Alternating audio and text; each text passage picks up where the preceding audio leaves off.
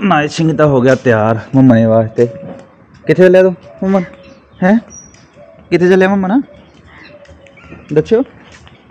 ਉਹ ਹੁਣ ਦੱਸਦਾ ਨਹੀਂ ਨੂੰ। ਨੂੰ ਦੱਸਦਾ ਨਹੀਂ ਬਾਈ ਹੁਣ। ਕਿੱਧਰ? ਮੈਂ ਛਣ ਮਿਲ ਕੇ ਆਉਣਾ ਤੁਸੀਂ। ਉਹ ਕੌਣ? ਡੱਡੂ। ਡੱਡੂ? ਡੱਡੂ ਕਾ ਕੱਟਿਆ? ਕਾ ਕੱਟਿਆ ਡੱਡੂ? ਵਾਓ। ਦਾਦੂ ਲੱਗੇ ਹੋਇਆ ਭਾਈ ਹਲਦੀ ਵਾਲਨ ਘਰ ਦੀ ਆਰਗੈਨਿਕ ਹਲਦੀ। ਪਹਿਲਾਂ ਇਹਨੂੰ ਬੋਇਲ ਕਰੂੰਗੇ ਬੋਇਲ ਕਰਕੇ ਫਿਰ ਸੁਕਾਉਣਾ। ਸੁਕਾ ਕੇ ਫਿਰ ਗ੍ਰਾਈਂਡ ਕਰਨਾ ਗ੍ਰਾਈਂਡਰ ਵੀ ਆਪਣੇ ਕੋਲ ਆਪਣਾ ਹੀ ਹੈ ਵੱਡਾ।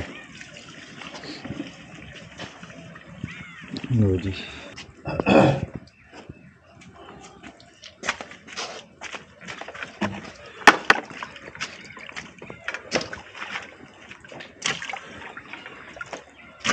ਇਹਨੂੰ ਕਿੰਨੀ ਦੇਰ ਉਬਾਲਦੇ ਹੋ ਤੁਸੀਂ ਡੈਡੀ?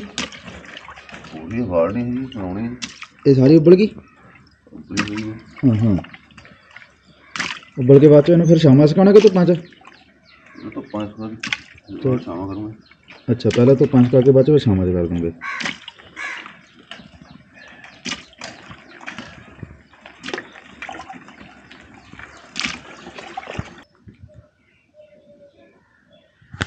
ਆ ਦੇਖੋ ਜੀ ਹਲਦੀ ਜਿਹੜੀ ਡੈਡੀ ਨੇ ਉਹ ਬਣਾਈ ਅ, ਕਰੀ ਹੈ ਇੱਧਰ ਪਹਿਲਾਂ ਇਹਨਾਂ ਨੇ ਅਲੱਗ-ਅਲੱਗ ਕਰੀ ਆ ਜਿਵੇਂ ਛੋਟੇ ਆ ਇਹਦੀਆਂ ਜੜ੍ਹਾਂ ਜੀਆਂ ਅਲੱਗ ਕਰਕੇ ਕੱਟ ਕੇ ਉਹ ਵੱਡੇ ਹੋ ਗਏ ਪੀਸ ਥੋੜ੍ਹੇ ਜਿਹੇ।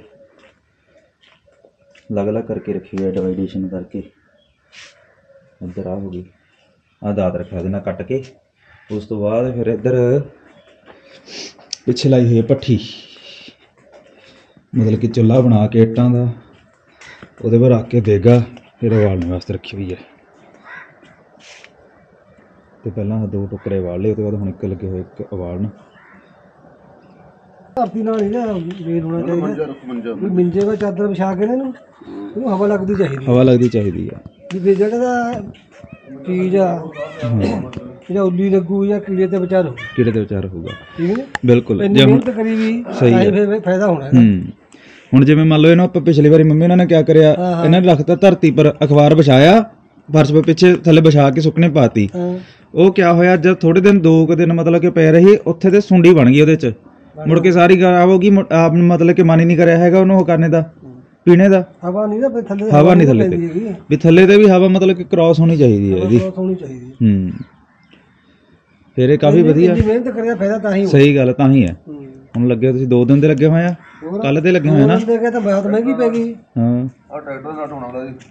ਅੱਛਾ ਜੀ। ਇਹ ਤਾਂ ਮਹਿੰਗੀ ਪੈ ਗਈ। ਮਹਿੰਗੀ ਪੈ ਗਈ। ਚਲ ਫਿਰ ਵੀ ਤਾਂ ਕਿ ਪਰ ਇਹ ਵੀ ਬਿਨਾ ਕੈਮੀਕਲ ਤੋਂ ਆ ਇਹ। ਆਰਗੈਨਿਕ ਆ ਨਾ। ਮਹਿੰਗੀ ਬੇਸ਼ੱਕ ਪੈ ਗਈ ਪਰ ਆਰਗੈਨਿਕ ਤਾਂ ਹੈਗੀ ਆ। ਨਾ ਇਹ ਚ ਯੂਰੀਆ ਨਾ ਡਾਇਆ। ਤਾਂ ਹੋ ਹੋਰ ਕਿਆ?